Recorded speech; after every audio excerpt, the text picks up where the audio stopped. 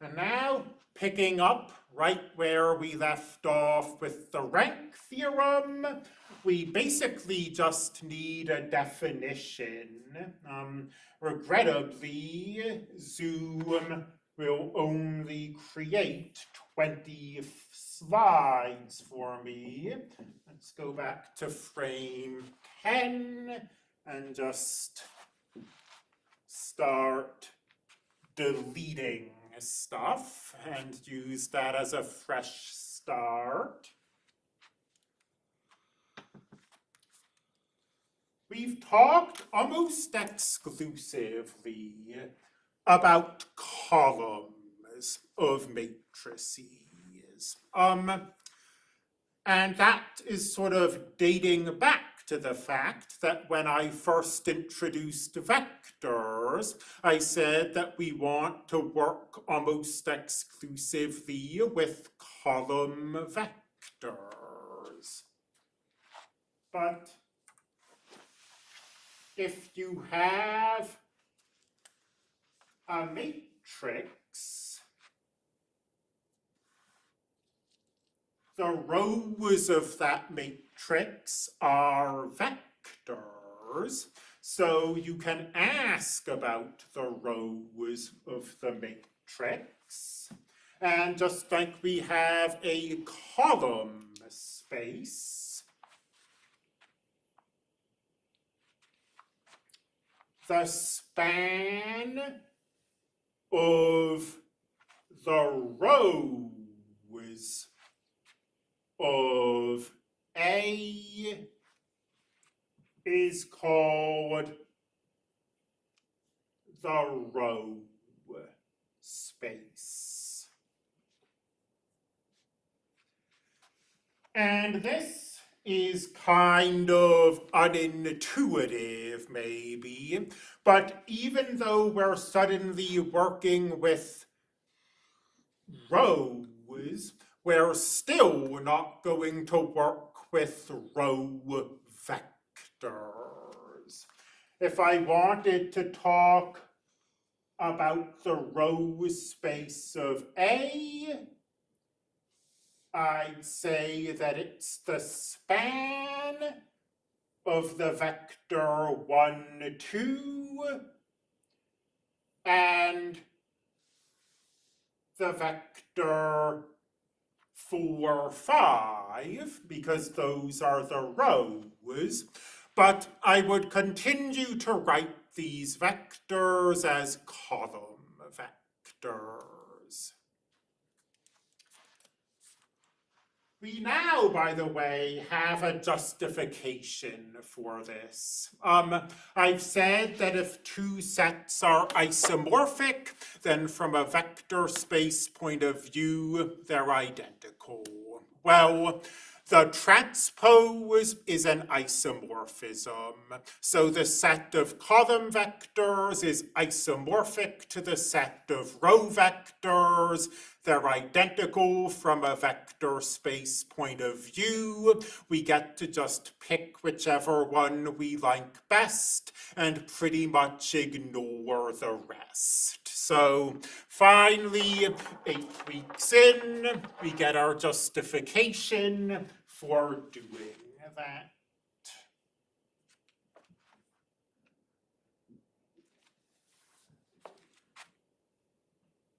Theorem.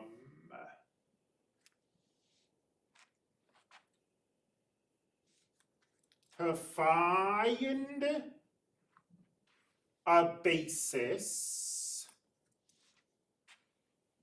of the row space of A, put A, I call this a theorem, I guess it's more of a process, but put A into reduced row echelon form and select the non-zero rows. And you've got to be careful here because, um,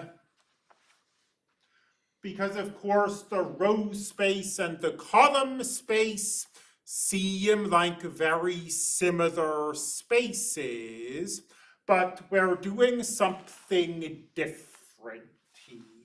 Say we have one, two, um, three, one. And we want a basis of the row space. According to what I've just said, we can put A into reduced row echelon form, or just regular row echelon form for that matter. Let's see, we're multiplying the first row by negative three, adding it to the second row. So negative six plus one, negative five. I usually go reduced row echelon form. It doesn't really matter. We could stop here if we wanted to.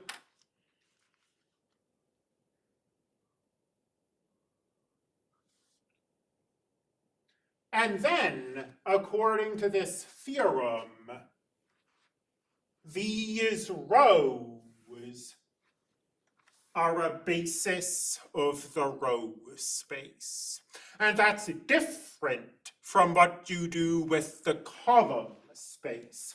For the column space, you do perform Gaussian elimination, but you're only doing it to identify the pivot columns. Then once you've identified the pivot columns, you go back to the original matrix. You'll notice that with the row space, I did not go back to the original matrix. I selected the non-zero rows of the reduced matrix.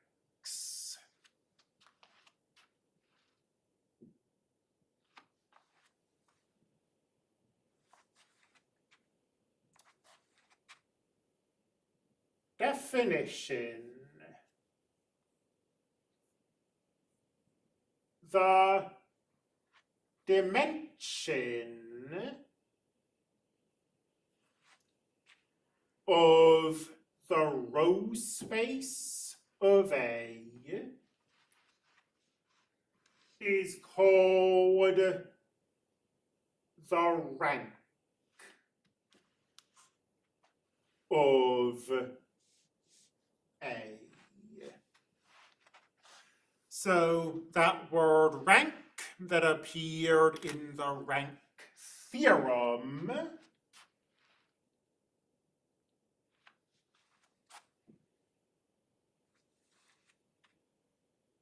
theorem. The dimension of the column space of A equals the dimension of the row space of A.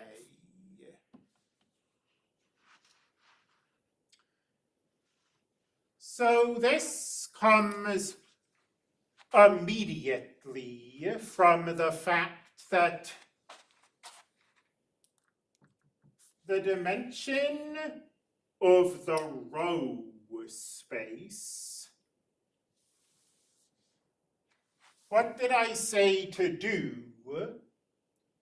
I said to put A into reduced row echelon form and select the non-zero rows. So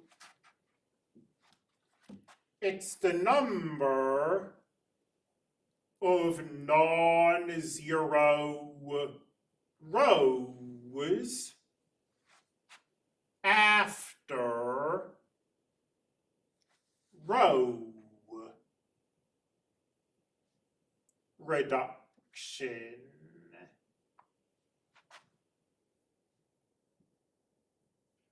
Hard as it may be to believe, I think we are going to make it. So the number of non-zero rows is the number of pivot positions. Because the pivot position is the first non-zero entry in a row. So every non-zero row has exactly one first entry.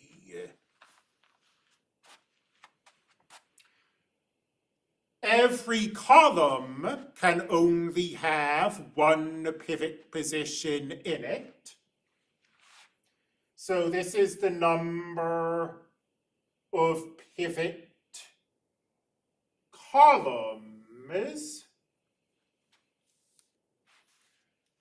And the number of pivot columns, let me find this. The number of pivot columns is the dimension of the column space.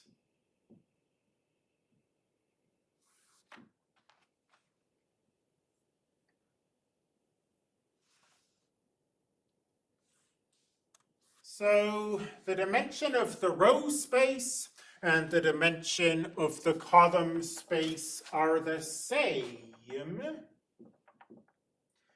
And the rank theorem is just what I have here, except that since the dimension of the null space and the, sorry, the dimension of the row space and the column space are the same, I can go from the dimension of the column space to the dimension of the row space. And then I can justify the name of this theorem. Remember that the dimension of the row space was what we called the rank. And there is the rank theorem.